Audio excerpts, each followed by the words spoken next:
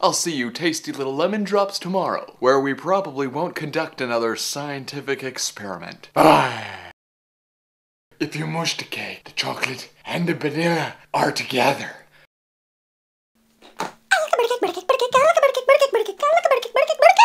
You like a birthday cake too. Who's that? Did you guys hear that noise? I think there's someone watching me.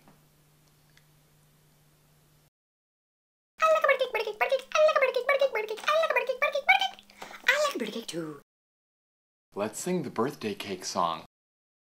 Oh man. I can fix it! I can fix it, I promise!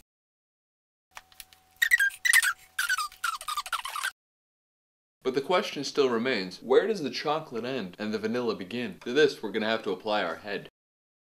This was probably the most conclusive test of all. Here we have unmistakable chocolate, and here we have unmistakable vanilla.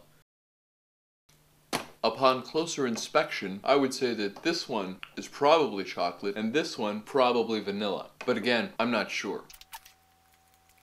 It's a lot of frosting.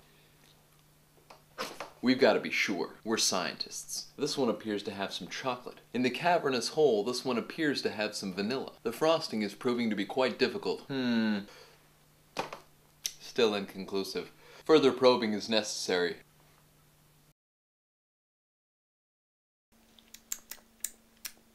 Sugary. Uh, sugary. The first test, I believe, was inconclusive.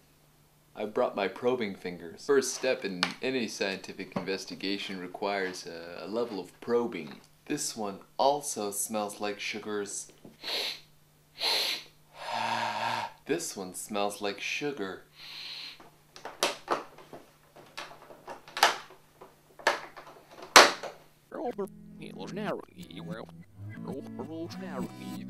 I propose we do a scientific investigations to find out which is which. Which is which? One of these cakes is chocolate. One of these cakes is vanilla. You eat cake too?